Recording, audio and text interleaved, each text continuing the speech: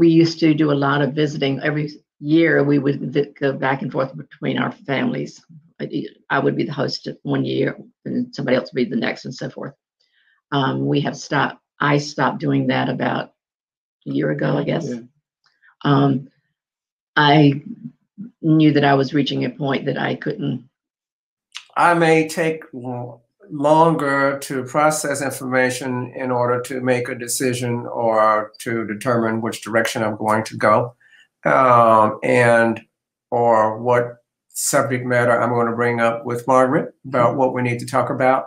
So uh, that's been the the one thing that uh, uh, I have seen occur. And sometimes he needs prompting to get him started on a particular task, um, which is very different uh, from before. Uh, knowing where things are in the house has become a challenge because he'll forget, for instance, the dishes. He may forget, oh, the glasses are in that cabinet, but the plates are in the other cabinet. So I see that that has prog- progressed. I see that happening where he may open a couple of cabinets to get to what he wants. I find myself sometimes getting too too much in a hurry, and then then I start like uh, not not being able to to to uh, to stay stay with it. In other words, uh,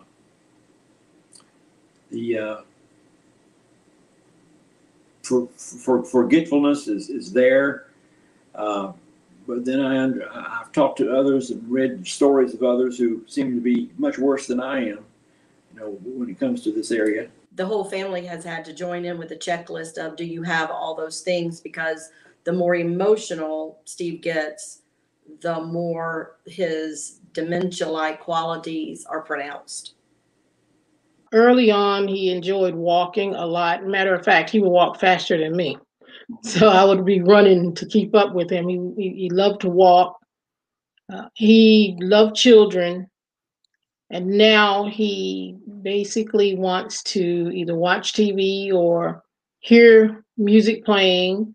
Um, he now don't want to get involved in activities uh, like the coloring. That's something that i kind of have him focused on doing that rather than just sit all day let's see, we used to be very, very, and I'm going to say used to because that's the way our life is. Used to be very, very involved in the community, in uh, kids' sports, in church. We taught Sunday school. We went on mission trips. We just did it all. Our house was open to one and all.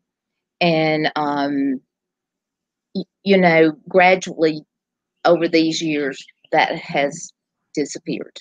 That's one of the things I regret as my condition goes on. I, I, I can't uh, go to like my granddaughter's volleyball games, softball games, and things like that. Which, with my two boys, I always attended everything they ever did. But I, I regret that I can't do that now with my granddaughters. But from a day to day basis, I have a routine set up that Kathy and I have uh, developed, I guess you'd say, that uh, I work out pretty good, but that wasn't always the case. It took a while to get to where I could deal with day to day life like I do now. I quit my job. I, this is something that needs to be brought up to the world. This hurts one very much financially. Well, the challenge is, of course, is the dementia itself, and that I don't know. I may be perfectly fine when I get up. Well, I seem that I'm fine, and then all of a sudden I might start seeing colors. I might hallucinate about something running around the wall. Uh, all those things uh, happen to me at times, and I see little men with sharp, pointy teeth runs at me sometimes, and you know, and it's very real when it happens. But then when I get away from that, so to speak, then I realize that it's my mind working on me and it's not real. But at the time, it's always very real. Now he does not want to go anywhere because he never knows when those hallucinations are going to hit. He never knows when his behavior might act out. And he does not want people out in the world to know that or see that or react to that. It's scary at times, and uh, I get frustrated at times because uh, of the way things happen in my mind. Because for no reason at all, I might be uh, watching television and I call it my head going hollow. It's like there's no reason, nothing in my head. I can't think. I am just there.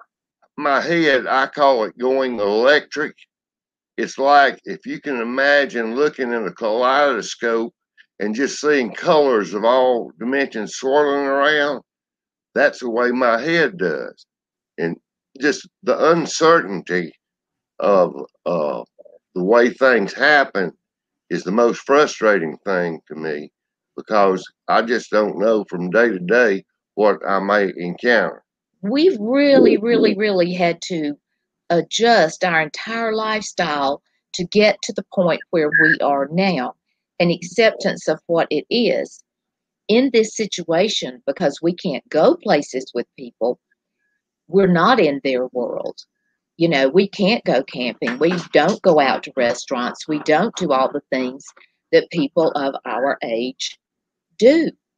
And there we are. There we are. I mean we're basically alone unless someone comes to see us. The reason I can't do that is because of emotional overload, I call it. Noise, as Kathy said earlier, bothers me. Uh, rapid movements and people running around and doing this, that, and the other bother me. And so I can't deal with things like I once did. I have no sympathy, no empathy, no social graces. Um, I've gotten myself, you know, in trouble a couple of times saying things or, uh, from not caring. And that's one of the, I guess, one of the things that is deep is we don't care what we say or what we do sometimes. The filter is gone. So it's, uh, it can be difficult in social situations when you don't have a filter and he can't stop it uh, no one can stop it. Sometimes when he loses his temper, he'll say, I know it's coming, but I can't stop it. I can't drive. Um, I no longer have a driver's license. Um, I go from day to day. Some days, all I want to do is sit and read. Um, other days, I don't want to do anything but maybe watch a little TV or sleep. And it's really affected my sleep. I don't sleep well at night some nights, but I'll sleep all day. Sharon can tell you that I used to read uh, books, and you could ask me years later about the book, and I could tell you almost word for word the storyline. Uh, now I'll read a book. Next week I'll pick it up and I'll look at it I won't know if I read that book or not. So it's my short term memory is tending to go uh, flaky, um, but yeah, I've still got my long term memory. So for Rod, he's sort of mid. We're having some word issues, some understanding issues. There are good days and bad days. As you see progression, it uh, it changes. You know, the, the disease changes as we go along. There's no um, uh, intimacy, unfortunately. Um, you know, we sleep in separate beds mainly because I popped her in the head a couple of times thrashing during the night. Rod has an issue in crowds, and uh, there's a lot of anxiety when there's a crowd. So some of the activities that we used to do uh, are not able to be done any longer because of there being a crowd. People with frontotemporal dementia, especially, do not look look like they have dementia, whatever that is, and they don't and people don't feel as though they act like they have dementia.